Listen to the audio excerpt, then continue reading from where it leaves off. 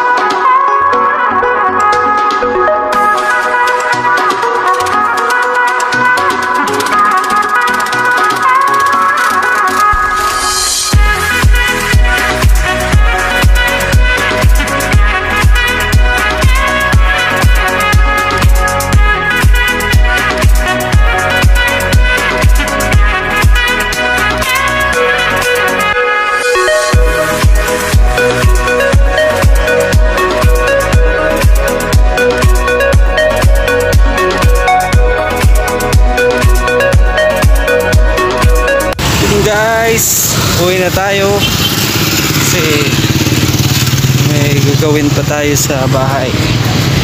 Marami at gawa pa tayo ng mojo. Tara.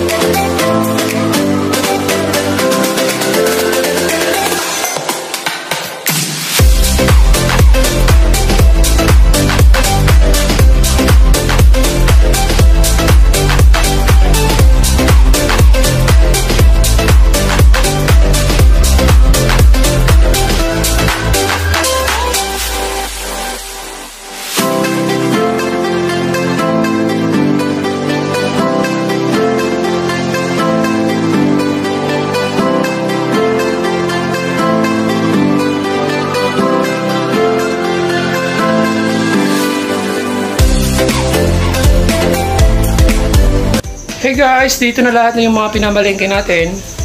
Puminito yung mga binili natin. Yan guys, na yung pinamili natin. Bumili tayo ng grocery para everyday natin na hindi na tayo bibili sa iba. And daily expenses natin is mababawasan. Kaya bumili na tayo niyan. Tapos itlog. Tapos yun guys, bumili din tayo ng karton ng Imperator Lights saka Tandoy Lights. Kasi saka sigarilyo na isang pakete. Kaso nga lang ngayon may bawas na. Kasi sobrang demand kasi dito yung alak. Kaya kung gusto nyo magsimula ng business na marami namang bumibili ng alak dyan sa inyo, is maganda talaga yan. Kasi mas malaki-laki yung tubo nyo kasama bumili kayo ng grocery. Kasi halos sa grocery kasi konti lang talaga. Hindi yun lang guys, kasi bumili din tayo ng yan, feeds para sa pagkain ng baboy. Bumili tayo ng isang kasako, mahal nga lang. Pero mas makakalis tayo ng 100 peso kaysa bumili tayo ng isang kilo-kilo. Tapos, less din expenses. Nakalis na tayo ng expenses. Tapos, pang matagalan pa. And guys, na lahat yung ating pinamili. Yun guys, ganun yung ginagawa natin. Pag mayroon tayong kita is binibili ulit natin ng asset para magkakaroon ulit tayo ng asset para pagkakitaan ulit. Hanggang dito na lang siguro kasi yun, hanggang dito na lang. Sana nag-enjoy kayo at may natutunan kayong konti sa ating video na to. At kung may nag-enjoy kayo at mayroon ka naman kayo natutunan, huwag na huwag niyong kalimutan na mag-subscribe and hit the notification bell para updated kayo sa mga video natin. Because we are Brothers!